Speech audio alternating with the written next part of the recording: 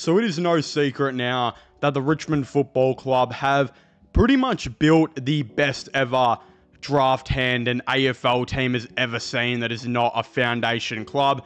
Of course, unfortunately for them, their best players in Daniel Rioli and Shai Bolton, and not so much Jack Graham, shout out Jack Graham for his incredible 2024 season, decided to leave the club. But then, fortunately for them, they were able to bring in a ton of fantastic picks, including picks 1, 6, 10, 11, 18, 20, 23, and 24. Did I just speed run that off the top of my head? I think I just did. But in saying that, Richmond now have eight picks in the top 24, and it seems like there could still be a need to try and be a bit more greedy and upgrade the draft hand even more. This has been suggested that the Richmond Football Club are going to be interested in potentially trading for pick two with North Melbourne on draft night.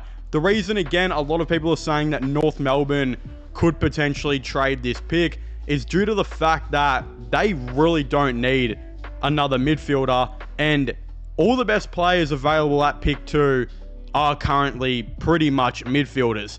North Melbourne really do need to invest in potentially improving their backline and this could obviously lead them to trading down and going for a guy like Alix Tauru or Luke Trainor, who's a very good halfback and then a very good key defender.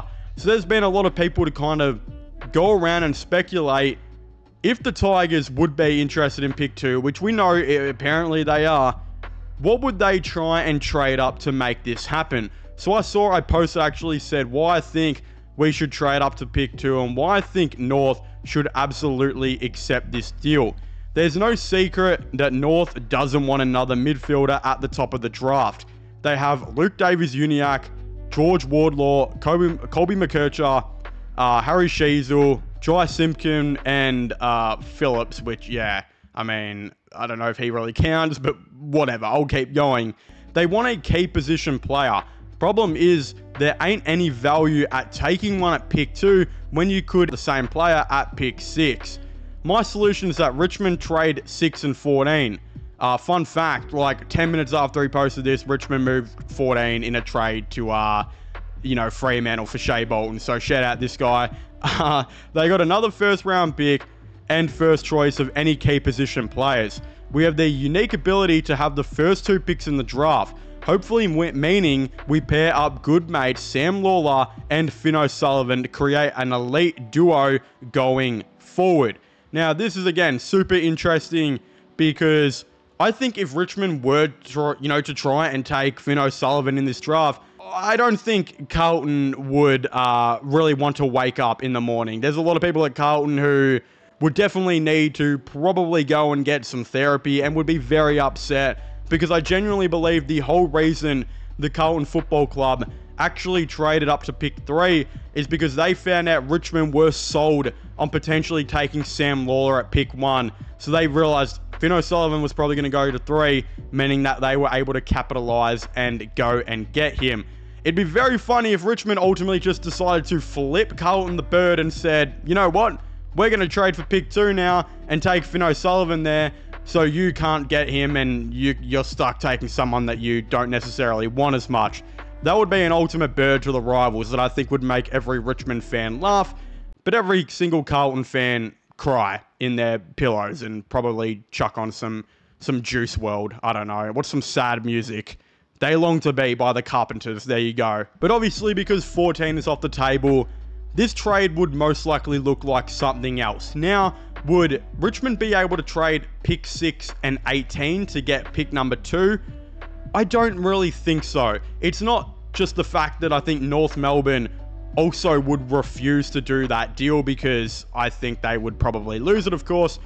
But I think, do Richmond really want to trade pick 6? Are they going to trade pick 6 if they were going to go and get pick 2? Again, 99.9% likely they would probably have to, even though they don't want to. So, what a trade would maybe have to look like is Richmond trading up pick 6 and 11 to get pick 2, and maybe North Melbourne throw in their future second or something. I don't know. Even that deal as a Richmond fan, I'm not not really liking. I know there's this big consensus around by people that are saying that Richmond should go and try and trade for pick two.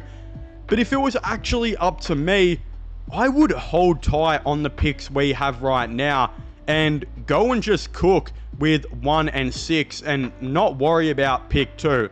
Again, I know we can get another generational play probably at pick two, but I would way rather with where Richmond are and the lack of depth on this team, I would way rather take two middle first round picks into the draft than trading them both up to go for two. Again, I understand why a team like Carlton traded 12 and 14 for three.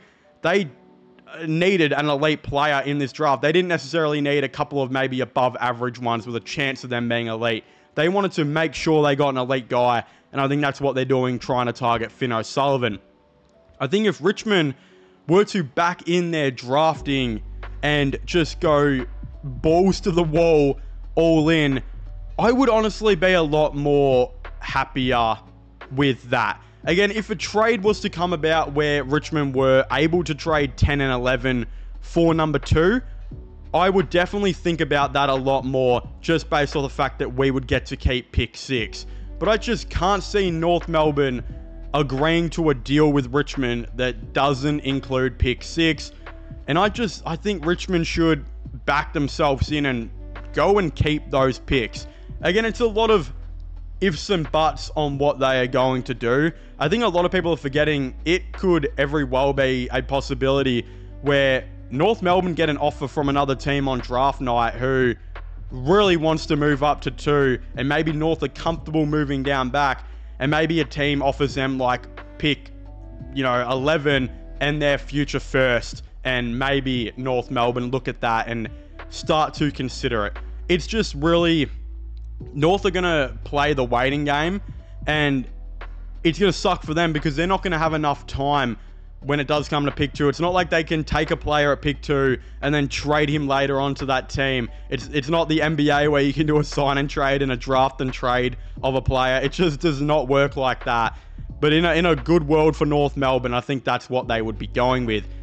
It's it is really interesting. Don't get me wrong. I've even heard some people just suggest that maybe North reach and take an Alix Tauru at pick two, especially considering he's just climbing the draft ranks at this board and is now currently ranked like number seven or eight.